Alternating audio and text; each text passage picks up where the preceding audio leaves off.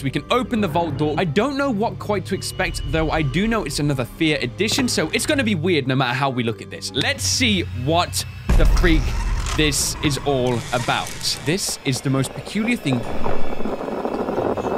what is that deathly freaking growl? Oh, wait, wait, wait, wait. What the freak? Why is there an absolute giant version of that guy out there? So what is going on, guys? This is Ryan here, and welcome back to Hello Neighbor. So, we are back, guys. Now, you may be wondering, why are we back? I mean, I said before that I wouldn't be covering this again. There has recently been some discoveries within this game, guys, and it appears that the beta has more to offer than meets the eye. We are going to be accessing some of the crazy areas within this beta, but firstly, I got to show you this, guys. I'm a little bit high up right here, and you may be wondering, how the freak am I up here? And secondly, you might be wondering, Ryan, why'd you talk with your eyes closed when it's our question? For the second one, I actually have no idea. However, though, guys, for the first part of that question, I can answer it. There has recently been a new Hello Alpha trainer cheat engine, so check this out, guys. We now have the ability to levitate and ascend into greatness and everything above. But that's really no fun, is it? Whilst we could use that ability, I'm sure, for incredible things, all we're going to be using it for is to break through random walls that we couldn't previously access and check out some of the secret levels. There is apparently another secret level. I think it's called Fear Factory, and I am interested to see what this one has to offer. Supposedly as well, you can beat that, so they give you the supermarket one, which you can't beat, and yet hide the Fear Factory, and you can beat it. I always find these videos super fun, though, because the whole essence of them is to break the game even further than what it is currently. I mean, this beta was I mean, maybe a bit too deep. I would say more. Yeah, more like that. Let us get going with things anyway, guys. The first thing I think I'm going to do is I'm going to start a brand new game, and I want to check out some of the weird stuff that's possibly in the intro sequence. Okay, then, guys, so we are now in the original apartment that we do start out in. We have all this outside stuff. I don't know if there's going to be anything interesting there, but I guess it's worth a look. If we press 2, though, we should be able to just drift around. Yeah, okay. The confinements of this place are no more. We can just simply bust straight outside and... Ooh, Damn. No, uh, no wonder he's moving out. I mean, living on the edge, literally. I just feel like I can relate to this music so much more now that I'm floating. I can just get some, like, epic cinematic shots right here. Beautiful. So let's check out this room up here first. I think this is going to be where the cutscene is initially. How can we actually get in here? Let's see. Oh, okay. Now that is interesting. We can walk around. The magnet gun? Ah, we can't pick up any of the objects. Dang. Oh, we can't open the door either. Let me see if I can drift through it though. Boink. Yes, we can. And on the other side is, um, well, a void. Can we stand on this? Let me just see. We actually can. So we can actually walk on some of these buildings. That's mildly interesting, like parkour, you know? Although I'm not sure what this is going to really warrant us being able to do. And, oh, oh, oh, oh, oh.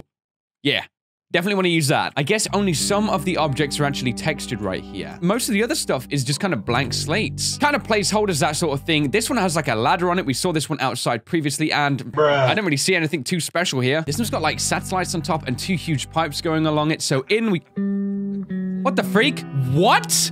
Uh, my dude, are you serious? What is he doing? Is he like pointing and laughing? Are you serious? So wait, this dude was watching us the whole time. I think they were meant to place him on top right there, sitting on the edge watching. That would have been better, you know? What is he laughing at though? Like, what a douche, man. Dingus alert, that's all I'm saying. This makes me curious. Let me see if we could actually see him from the window here. Yeah, look, check it out. If we actually did look up there initially with the binoculars, we would have seen the neighbor. I definitely think he was meant to be sitting on the edge laughing at us. So that really warrants the question as to why. He's legit like pointing and laughing at us. Like, man, is it that funny? Like, you think that's funny as well, then, you? Kind of interesting, though, why they'd leave that in, right? I mean, they gave us binoculars to look through at things. So I honestly think this was meant to be viewed by us initially. We were meant to see the neighbor laughing at us as we were evicted. I did think it was kind of interesting, though, in this place, why they would include the neighbor. Like, if you look, we actually glance out of the window. Perhaps we could have seen him, maybe if we knew what to look for. The fact that he was hidden, though, made that one very difficult. So let's head on now over to the main portion of the beta and see if there's any more crazy stuff, which honestly, I don't doubt. Huh.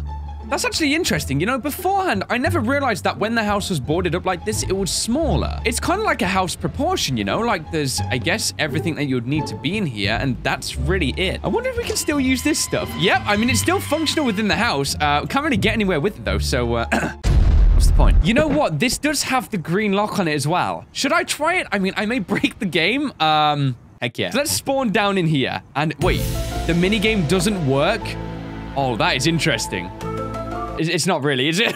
not really that much more to the house then, guys, but firstly, check this freaking junk out right here. I did know that this thing existed in the last alpha, but it's still in the beta, and honestly, tinyBuild, Thank you. You are coming with me. I don't freaking care. And now we're going to get our stuff in this house. Okay, so I've just brought everything in the house, guys. Now we're going to see if we can do anything crazy during this sequence because this might be a little bit interesting. We see the neighbor over there. I think there's going to be a weird dud frame where he's going to be standing doing something stupid. Let me see if I can go and find him. I can see a light source over there. Um, he's not really being that stupid, although he is kind of just standing there. So, um, I guess he is being stupid. I'm actually in the house right now, guys, and there's nothing that he can do about it. I think I broke the gate. Oh, wait, no, it threw me back out. So I think it's this part here where if you move anywhere, he catches you. So let me try and go in the... Huh? So I think we have to move the chair right now. It's the only thing we can do. Can I go under the ground? Wait, wait, hold up, hold up. I'm good. I'm good. This is so unusual, man. Like, I'm completely breaking the game. Look, I can go right up in his grill, literally. Ew. Let me just see if I can actually do the mini games during this sequence here. So if I press zero, can I? Or have I broke it? Yes, we can. Oh, what?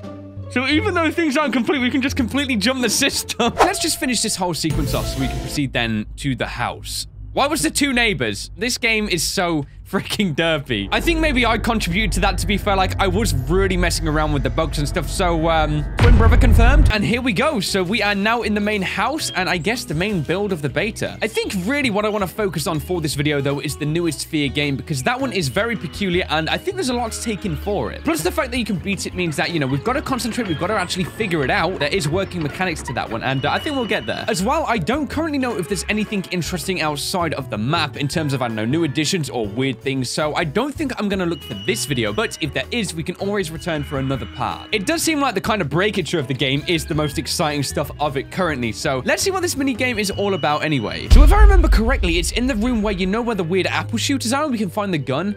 I think it's in here and just behind all of this junk, we can see there's some kind of weird vault door, you know? It's really strange. There is no way we can actually access this thing. We can try and try, but I think the best we can do is get stuck. The closest you can actually get is going through the weird, you know, sun moon door where it has the date and stuff. We can open this door here, and as you can see, the vault door is right there. We can peek through it, but if we actually go out of it, we're stuck. This is why the cheat engine is really awesome for this. We can open the vault door, go into ghost mode, and drift into water and not drown for some reason. I don't know what quite to expect, though I do know it's another Fear edition, so it's going to be weird no matter how we look at this. Let's see what the freak this is all about. A basketball, guys? Serious? Wait, this is the most peculiar thing.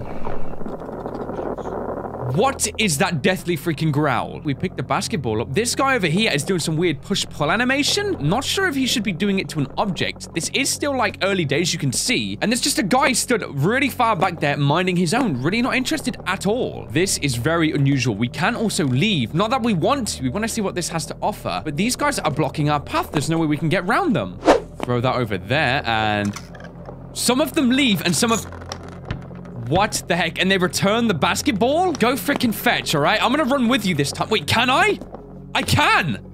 I made some ground. When you think about it, we're actually moving. I've got the basketball again. They did return it, so it's something involving this. Go freaking long, guys. Who's gonna move first, huh? You gotta Whoa. I made some ground that time. And do we just keep going? Oh my gosh. And we just keep running. Then they prevent us from moving. This is the weirdest thing I've ever seen in my life. What this is trying to explain to us, no idea. Maybe in the factory, this is why they made the mannequins. Oh, they got weird when I said that. That was kind of strange. Keep running, keep running. Now I'm being like elevated upwards. What is happening? I think the minigame may have completely broken right here. Like, I can't move or anything. Smoke is plummeting through, and we've still got this far to go. I don't know what this is trying to explain to us, guys, although something weird. It's just clear it happened. Wait, what the heck is going on? It's like I get stuck here every time. There's like so many group right there. I'm not sure why. Can I ghost now? yes, I can. I can actually avoid them completely. That is so weird, though. Where did the basketball go? I was doing so well. I still got it? If I throw it and run, they should follow it. Then they're blocking me again. We are making ground, as I said before, though. What is trying to account to? Uh, no idea whatsoever, though. Maybe we was pushed around at one point, like we were the center, and I don't know, maybe no one liked us or something? Now the factory is getting more kind of windy. We've got this that leads to absolutely nowhere. I wonder what the purpose of this thing is, though, because I can see the exit right there. We're kind of making our way through fairly consistently, I would say. It's not much of a difficult thing. We just kind of throw the ball, move a little bit down, so...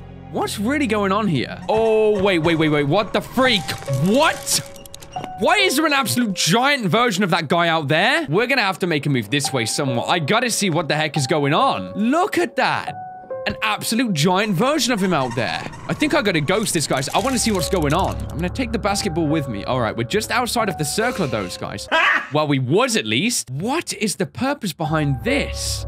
This giant man right here, like, what? He's actually got some kind of animation as well. Like, what he's doing, no idea. Kind of just, like, thinking or something. The way he twitches, though, is just, oh, man, it is not natural. I think this has to be some kind of imagination of, like, the neighbor. Like, maybe this is, like, a dark conscience of him always watching, you know, every situation where he's like fearful. Maybe that's the neighbor's kind of picture in his head of what fear is to him. I mean, I don't know. Can I stand on this dude? I mean, I probably shouldn't be, but I guess I can. hey, what's good, man? Hey, stand on your freaking... Uh, uh. Either way, though, this guy is humongous. Like 30 feet, maybe taller. I don't freaking know. If this was like maybe a later minigame in the series and he grows throughout, that might be some kind of hinting thing. Maybe the neighbor's fear was growing or whatever this representation is for the neighbor was growing in his conscience. I don't know, though. I'm probably just shooting things out of my behind and nothing makes sense. All we can do, though, is assume. I mean, we can see that this game is still early ages for the minigame, should I say. So I think there's something here. I remember when we first experienced, like, the Fear games, like the Fear School and stuff like that, and now we're seeing it in the other light. Granted, it still is a bit kind of iffy, like, doesn't really make a whole lot of sense, but it's more built up more so. Ow. I see. So I just restarted the game and I'm making my way now over to the door. I haven't had any problems with the glitch. I'm convinced it's probably because I was ghosting. I mean, I shouldn't be doing that anyway. Even further back, I shouldn't even be playing this mini game, I guess. So uh, no wonder things are breaking and such. There's a wall right there. Okay, that's interesting. So how are we supposed to advance? Is there like... Huh? I'm literally locked in right here. I can't advance past this point. It's like the mannequins kind of block you off. What gives, guys, huh? Go on, freaking take that. Can I get past now? I wonder why this is happening. Like, no matter how high I throw this thing, it's like this little capsule right here has all of a sudden enclosed me in on it. I can't get out. I can ghost, however, so, uh, yes. There we go. We've managed to break out of the capsule, and here's where the exit lies. Let's open the door, and I guess if we go through, it takes us back out. So there is something working here. Again, though, it seems to be one of those things where we don't really gain anything from it. And once it's done, it's done. I think the last thing I want to check out then for this video, guys, is back in the supermarket game. Now that we can ghost, we can go anywhere. No restrictions for this one right here. So I think I may try and beat this with the shopping cart and see if the ending is different. Though I do remember seeing, yep, I can see him right there. I knew there was something here. I thought at first my eyes were playing tricks, but it is the exact same animation and model, just watching us and a bit smaller. Always watching, huh? He was also in, of course, the little classroom mini game. He's always there. It's got to be some kind of conscience. So I've got the shopping cart there. I'm going to find some stuff to put inside of it. On a side note, though, I did find the robotic shark again. Introduced in Alpha 1, still here in Beta 1. I think I might try and see exactly what the mannequins are getting and match that. I don't know if there's like a specific item order we got to get and maybe it something. Uh, literally, I'm just going off of anything. There's four things. I think that's one of everything maybe in this place. There may only be four unique items. Wait, hold up. I've never seen that. Is that guy literally just checked out and leaving? Oh, that one's weird. I saw a guy just leave, and I think he's not came back. Look, here's another one. Hold up. Are they checking out? No, they're coming for me. I'm just looking on the outside of this one as well, guys. There's a huge gramophone right here. We know there's something weird with like the golden apple and the gramophone, so I don't know what this is trying to say. There's no way we could legit get up here. I mean, going inside of it, I don't think would do anything. We, I mean, we can stand on it, but other than that, we just kind of get stuck. These guys, look, they're still just checking out. They're literally just leaving. I don't get it. It's really making me think, like, do we have to make them all check out? Is that how we win this? Because they do legit check out and they just disappear. Huh. There goes another one. Going on his way. Not interested in us. Just literally checking out.